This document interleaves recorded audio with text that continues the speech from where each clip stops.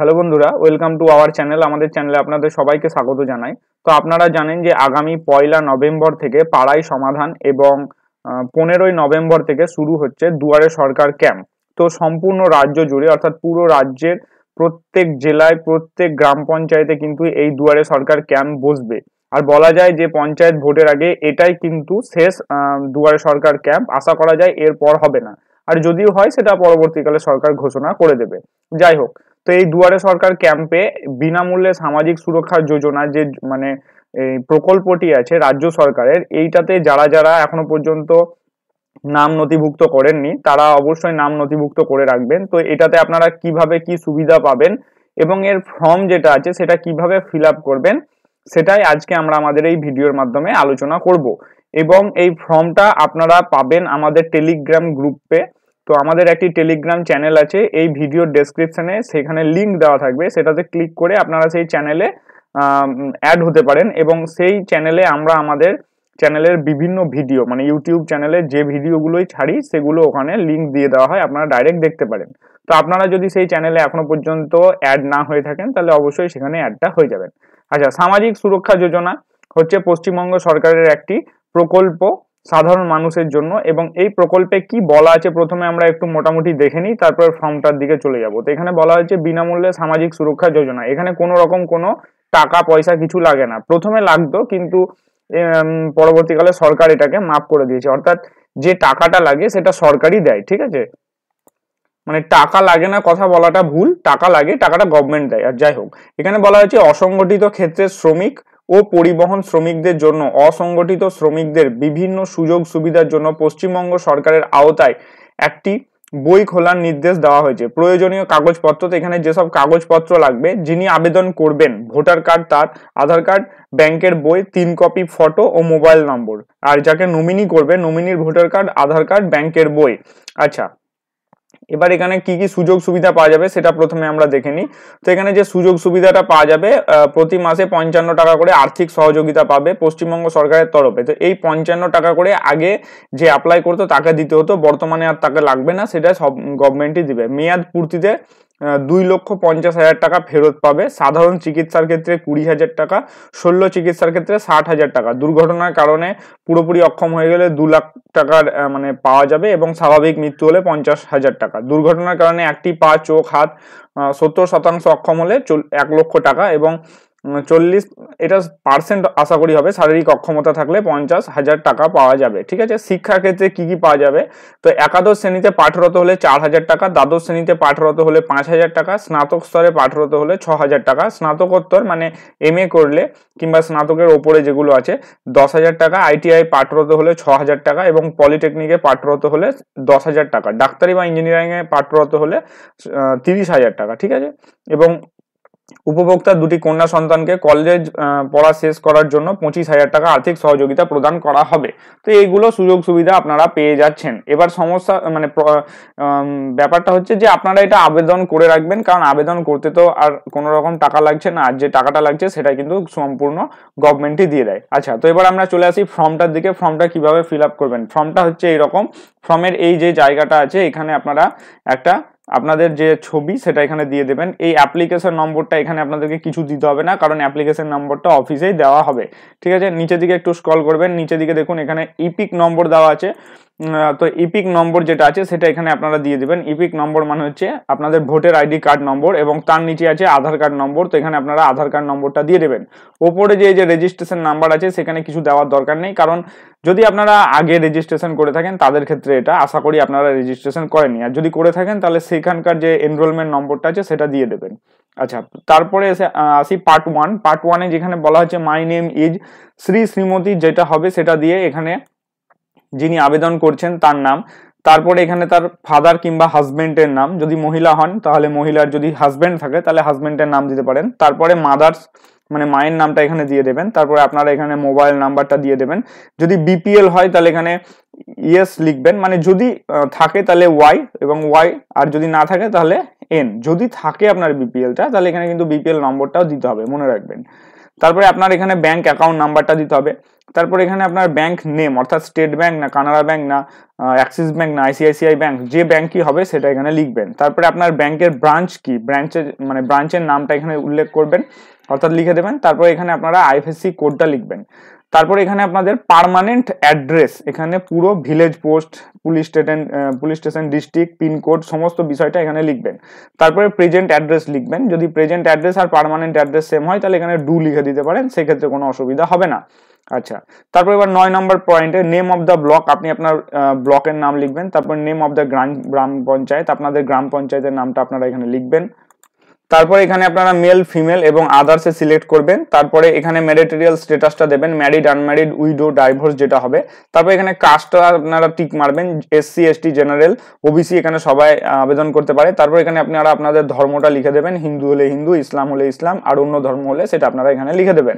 Date of বার্থটা আপনারা এখানে দেবেন, যেটা আপনাদের আধার কার্ডে আছে সেটাই দেবেন। আচ্ছা পনেরো নম্বর পয়েন্ট একটু ভালো করে দেখবেন। এখানে বলা হয়েছে যে I M covered not covered under employees provident fund and miscellaneous Pro um, Provision Act 1952 তো যদি এখানে আপনি কভার্ড হন মানে আপনি একটা হয়তো কোনো কোম্পানিতে কাজ করছেন, সেখানে আপনার পিএফ আছে, তাহলে কিন্তু এখানে যদি থাকে, তাহলে এখানে আপনার পিএফ নাম্বারটা দিয়ে দেবেন। পিএফ নাম্বার স্ল্যাশ দিয়ে এখানে ইএসআই নম্বর যে আইপি নম্বর হয়, যাদের পিএফ আছে তারা জানে। পিএফ এ ইউএন নাম্বার বলে একটা নাম্বার হয় ইউনিভার্সাল অ্যাকাউন্ট নাম্বার সেটা এখানে দিতে হবে। আর ইএসআই এর আইপি নম্বর হয়, সেটা এখানে দিয়ে দেবেন। আর যদি না থাকে, তাহলে কিছু দিতে হবে না আপনাদের এখানে, ঠিক আছে? আচ্ছা তারপরে এবার দেখুন, ষোলো নম্বরে যেগুলো আছে সেগুলো আপনার এখান থেকে I am self employed worker যদি আপনি কোনো সেলফ এমপ্লয়েড কাজ করেন, তাহলে এখান থেকে দেবেন worker engage in schedule unorganised sector তাহলে এখানে আনঅর্গানাইজড সেক্টরে যদি আপনি কাজ করেন, তাহলে এখান থেকে ষোলো নম্বরে দুই নম্বর পয়েন্টগুলো এখানে সিলেক্ট করবেন। যেমন আমি এখানে বলে দিচ্ছি, যেমন এখানে বলা যায় নেম অফ মাই অকুপেশন তো আপনার যে কাজটা আপনি করেন, সেই কাজটা আপনি এখানে লিখে দেবেন। সে নানান রকমের কাজ হতে পারে, আপনি কোনো দোকানে কাজ করতে পারেন, কিংবা হয়তো কোনো কন্ট্রাক্টে কোনো যে কেউ এটা আবেদন করতে পারে, একদম কোনো দোকানদার স্ট্রিট ভেন্ডার ঠিক আছে? নানান রকমের অটো ড্রাইভার থেকে শুরু করতে, সমস্ত লোক। Address of the establishment where I employed আপনি যেখানে কাজ করেন, সেখানকার পুরো মানে অ্যাড্রেসটা দেবেন and my monthly family income from all sources আপনার বাড়ির সমস্ত জায়গা থেকে আসা টাকা, কত টাকা আপনার ফ্যামিলি ইনকাম করে, সেটা এই সতেরো নম্বর যে পয়েন্ট আছে, সেটা এখান থেকে আপনি এখানে দিয়ে দেবেন, ঠিক আছে? তারপরে এবার এখানটাতে আপনি আপনার পুরো সিগনেচারটা করবেন ফুল সিগনেচার আর এখানে আপনি প্লেস মানে আপনার যে জায়গাটার নাম, সেটা আপনার যে মানে হোম টাউন সেটা দেবেন। তারপর এখানে ডেট অফ আপনার ডেটটা দিয়ে দেবেন। আচ্ছা ডেট দিয়ে দেওয়ার পর, এবার পার্ট টু এ আমাদেরকে এখানে চলে আসতে হবে।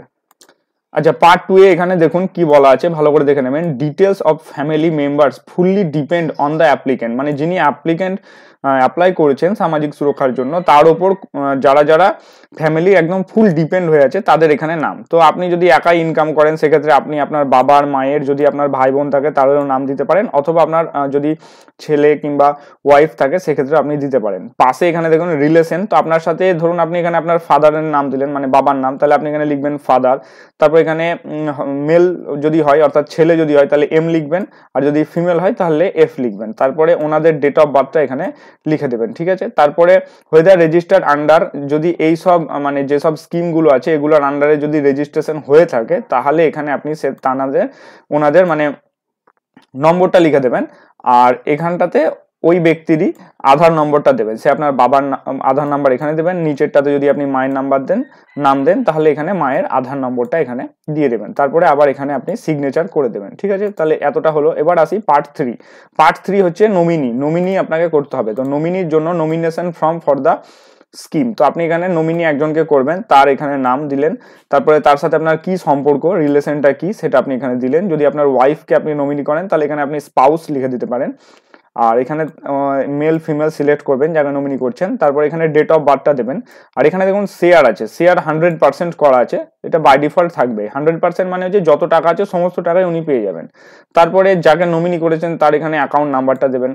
তারপরে তার ব্যাংক নেমটা এখানে দেবেন ব্রাঞ্চ নেমটা এখানে দেবেন, তারপর এখানে তার আইএফএসসি কোডটা দেবেন। তারপরে আবার আপনি এখানে সিগনেচারটা করে দেবেন, ঠিক আছে? এখানে সিগনেচার করে দিবার পর এবার আছে পার্ট ফোর এটা হচ্ছে সার্টিফিকেট তো এইখানে যেটা করতে হবে, সেটা হচ্ছে আপনাকে এখানে কাউকে দিয়ে সিগনেচার করিয়ে আনতে হবে। যেমন এখানে দেখুন, লেখা আছে to give my employer MP MLA সভাপতি অফ জেলা পরিষদ, সভাধিপতি of Siliguri Mahakuma Parishad, a mayor municipal corporation chairman committee সভাপতি of member of panchayat samiti pradhan gram panchayat, গ্রাম পঞ্চায়েতের প্রধানেও আপনি এখান থেকে একটা ভেরিফিকেশন করাতে হবে এখানে। ভেরিফিকেশন মানে হচ্ছে আপনি এখানে জাস্ট নামটা লিখবেন আই নো দ্য অ্যাপ্লিকেশন যেখানে তার আপনি নিজের নামটা মানে যে অ্যাপ্লাই করছে তার নামটা লিখবে। আর যে সই করছে, অর্থাৎ প্রধান কিংবা এমএলএ, তার এখানে ফুল সিগনেচারটা উনি করবেন এখানে, আর ফুল নেমটা এখানে লিখবে, এবং তার নিচে তিনি এখানে সিল মেরে দেবে। হয়ে গেল। তাহলে চার নম্বর আমাদের পার্টটাও কমপ্লিট হলো। আচ্ছা এবার আমরা আসি পাঁচ নম্বর পার্টে পাঁচ নম্বর পার্টে এখানে কি আছে? এখানে লেখা আছে for construction worker and transport worker only শুধুমাত্র যারা মানে কনস্ট্রাকশন বলতে এখানে রাজমিস্ত্রিকে বোঝানো হচ্ছে, যারা মানে ঘর বাড়ি তৈরি করে এবং ট্রান্সপোর্ট মানে বুঝতেই পারছেন, এখানে পরিবহনের সাথে যারা ড্রাইভার কিংবা গাড়ির খালাসি যাদেরকে বলা হয়, তারা যদি যুক্ত থাকেন, তাহলে তাদেরকে এখানে সিগনেচার করতে হবে, ঠিক আছে? এটা শুধু তাদের জন্য। ফুললি সিগনেচার এখানে করতে হবে প্লেসটা এখানে দেবেন ডেটটা এখানে দেবেন। এগুলো দিয়ে সমস্ত ডিটেলস রেডি করে আপনারা এর সাথে আপনাদের কি কি ডকুমেন্টস লাগবে আমি আরেকবার বলে দিচ্ছি, এখানে দেখিয়ে। ভোটার কার্ড আধার কার্ড ব্যাংকের পাসবুক তিন কপি ফটো এবং মোবাইল নাম্বারটাও দিয়ে দিয়ে দিয়েছেন। আর নমিনির ভোটার কার্ড আধার কার্ড ব্যাংকের পাসবই এগুলো সমস্ত নিয়ে আপনি আপনার ক্যাম্পে অর্থাৎ দুয়ার সরকার ক্যাম্পে জমা করবেন, তাহলে কিন্তু আপনি সামাজিক সুরক্ষা যোজনার আন্ডারে চলে আসবেন। ঠিক আছে? তাহলে আজকের ভিডিওটা এখানে সমাপ্ত করছি এবং ফর্মটা অবশ্যই আমি বলে রাখি আর একবার যে ফর্মটা কিন্তু এখান থেকে আপনারা, আমি এই ফর্মটা তো দিয়ে দেবো আমার টেলিগ্রাম চ্যানেলে কিন্তু এই ফর্মটা আপনারা ওই ক্যাম্প থেকেই নেওয়ার চেষ্টা করবেন, কারণ ক্যাম্পে সিল মারা থাকে, আর ওই ক্যাম্পে মানে ক্যাম্পের ফর্মে তাড়াতাড়ি কাজ হবে, ঠিক আছে?